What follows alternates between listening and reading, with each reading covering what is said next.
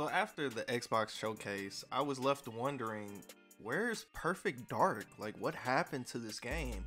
And fortunately, the other day, thanks to Rebekah Valentine, we actually got some more information surrounding this game.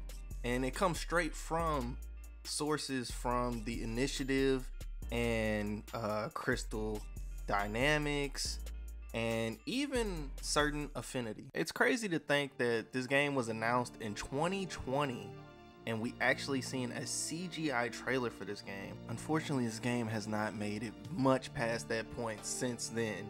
Now, fortunately, since Crystal Dynamics has came onto the project and tried to somewhat help the initiative, not so much take control over the project, uh, it seems like the initiative and Crystal Dynamics are actually making headway on this project, but it's still two to three years out.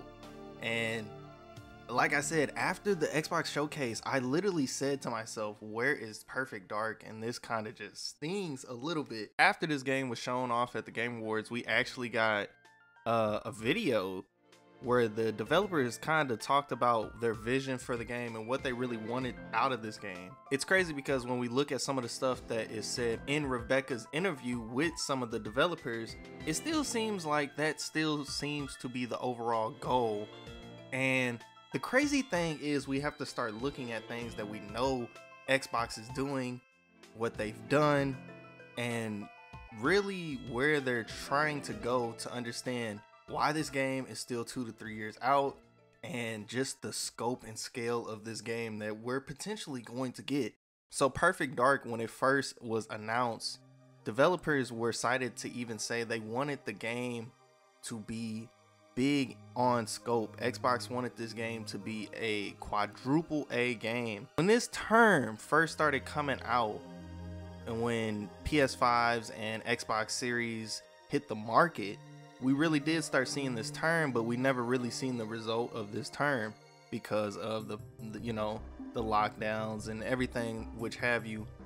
But it's crazy that now we're starting to see with Starfield games that are really starting to push in and fit the bill of a quadruple A game because they're they're so massive in size. And to think that Perfect Dark was supposed to be that at one point and still very well can be is just truly amazing because I don't think we've had we don't have any kind of game that is like that still. And if Xbox is truly pushing the envelope of games like this to that quadruple A level, especially because, again, like I said, we have to look at the things that we do know. We know Xbox has stopped making games for the Xbox One consoles. So every game that is made from this point on is going to be series exclusives. So you're only going to be able to play these games on an Xbox Series S, X, or on a PC. And that's huge because we're truly getting into the next generation of gaming. I'm not saying every game that Xbox releases from this point will be quadruple A games, but what I am saying is that Xbox is going to start trying to hit that point more and more. I think another thing from this article that is interesting is that the devs say multiple times that Xbox really was more so hands off and kind of just let them create the game they wanted to create, gave them the IP and let them do what they want. Again, we've heard this in the past. Xbox doesn't know how to manage studios, this, that, and the third. Uh, there's also parts in this article that mention that Matt Booty went on and said the exact opposite that he actually was on the phone with these devs quite often.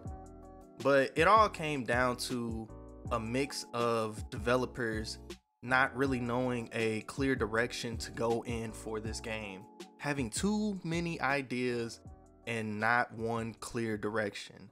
And it sucks because it's now halted development and made it restart essentially. Now that Crystal Dynamics has jumped on the project with the initiative, they've already made more progress and more of a foundational progress than the initiative and certain affinity had made in the beginning. I love games like Tomb Raider and stuff, but it seems that Crystal Dynamics is keen on just helping and not so much taking the driver's seat on this game. This is still a game that is coming from the initiative, but Crystal Dynamics is there to help them with the things they do need. It seems that both teams are just really going under the name, the blanket name of Team Perfect Dark. And honestly, if they're the ones that have to make the progress on this game that's going to get it to the finish line, that's great. Again, it doesn't have to be a quadruple A game. If the initiative's first goal is still around trying to make this big grand scope of a game, I truly do think this game could be a hit for Xbox, especially because it's a franchise that we have not seen in years.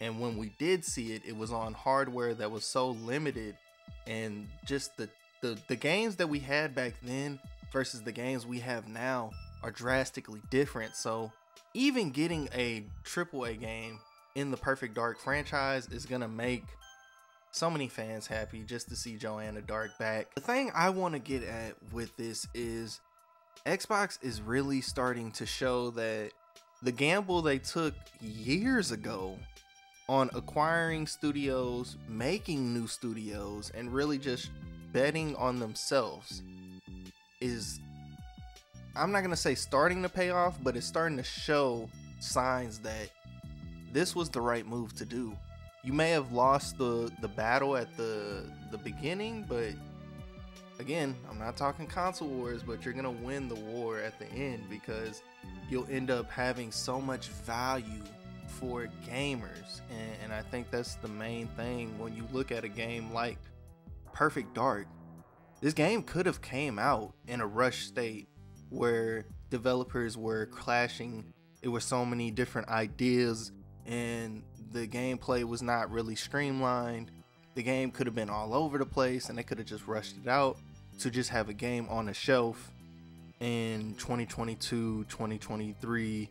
I mean, hell, we, we could have been playing Perfect Dark right now and it could have been something that was just not what it should have been. And I think, I don't know, man, blessings kind of happen in disguise. And I think what happened here, uh, Crystal Dynamics jumping on the team, and kind of just helping the initiative's vision go forward and kind of streamlining ideas because they have that experience and they kind of have that uh, leadership, I think we're gonna get a better product from it. And honestly, uh, Perfect Dark, either way, like I said, it's gonna hit. So, what do you guys think? Do you feel like waiting two to three more years for Perfect Dark is valid? Do you feel like nobody really cares about the franchise anymore? The other day we t- we just talked about two other franchises that are currently just shelved and it seems like Microsoft has just been waiting for the right developers to want to make these games. It's not so much that they're hands off and just throwing money at these devs and saying make these games, but they're more so asking developers, here's the library of games that we have, this is the catalog you can create from. Go make something you want. And I think in the game space that's that's truly what we need. And I don't know, man. You can call me what you want, but let me know down in the comments below. Are you excited to see more about Perfect Dark, hear more about Perfect Dark? It's probably going to be a while before we see anything more on Perfect Dark, but when we do, I promise it's probably gonna be very, very good. I don't know, man. I think having an Xbox is starting to shape up to actually pay off, and it's starting to actually show. So let me know down in the comment section below. This was more so like just all over the place. I kind of just wanted to really talk about how I feel Xbox is handling development in these studios with their IPs and stuff. And it's just kind of piggybacking on my last video. So if you have not seen that one, Go watch that one. Just talked about Banjo, Conker, and now we're talking about Perfect Dark and Joanna Dark. And hopefully, Team Perfect Dark can wrap this one up and get it to us in a great package. So I will catch you guys in the next video.